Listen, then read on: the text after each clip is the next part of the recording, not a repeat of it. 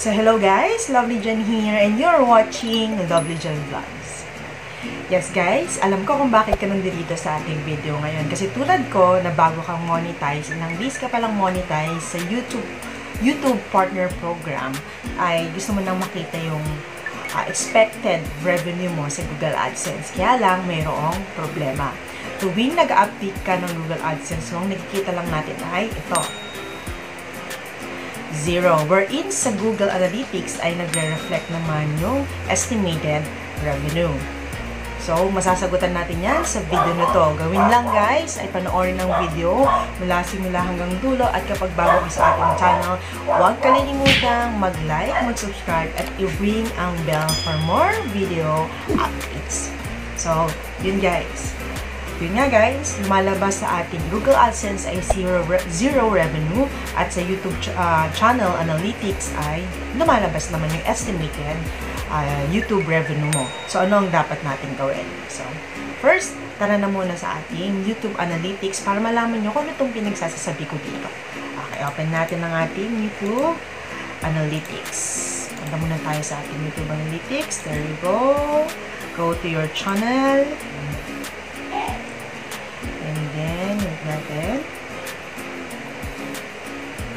Pagpunta natin sa ating YouTube channel, go to YouTube Studio.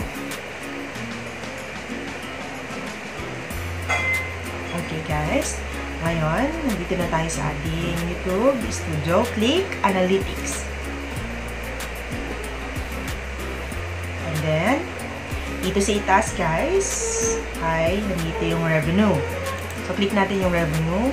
Ayan. So, merong lumalabas diyan na ating revenue na merong estimated revenue or this one and then playback based camera channel.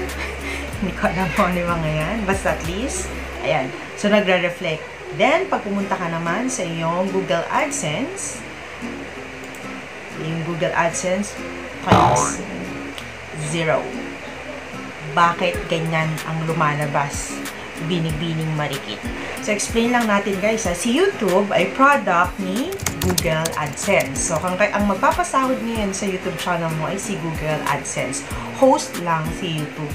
So, ganun siya. Kaya ang mahalaga, yung revenue mo sa YouTube Analytics na nagre-reflect, ay kailangan mag-reflect dito.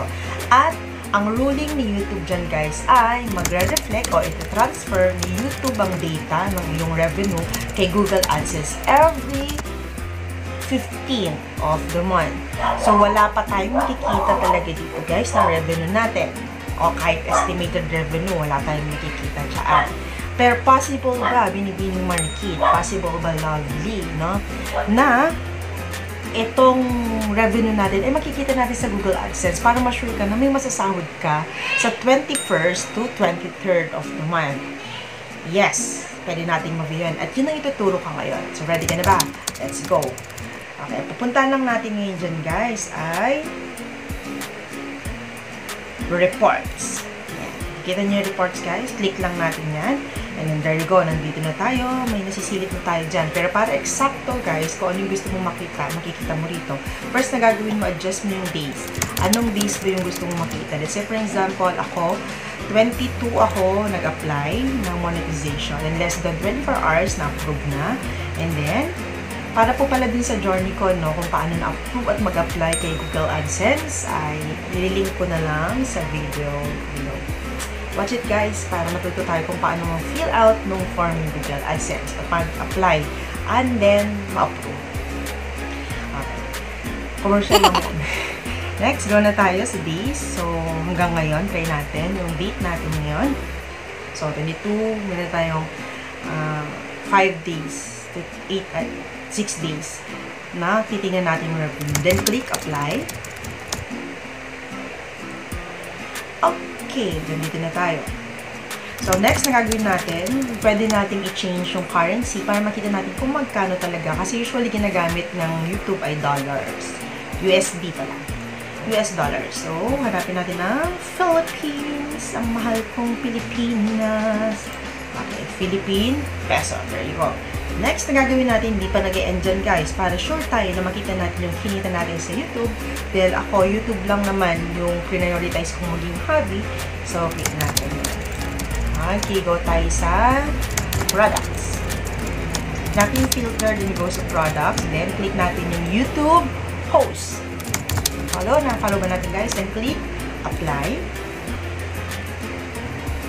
And now, we can see our total earnings. So guys, sabi ko sa inyo, makikita nyo, yan. Yan ngayon ang ita-transfer ni YouTube Analytics kay Google AdSense pagdating ng 15. So, may ipon pa yan. So, anong araw pa lang naman ngayon. Ano? So, sa 15th ng month, yeah, update na ni Google AdSense ang yung total earnings or ang yung total revenue. So, that's it guys. Hopefully, natutunan nyo kung paano makita ang inyong revenue gamit ang Google AdSense. So, natutu kung natunuan po kayo ng video na to guys, don't forget to like, subscribe, and hit the bell button for more video updates. And then, thank you for watching. Thank you din po guys sa ating mga 1,000 subscribers. And next time, I'll try to do a shout out sa ating mga nagko-comment sa ating channel. So, yan, thank you very much for watching and please continue to support this channel.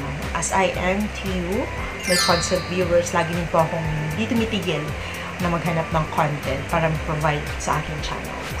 Thank you very much. I love you all. Bye-bye!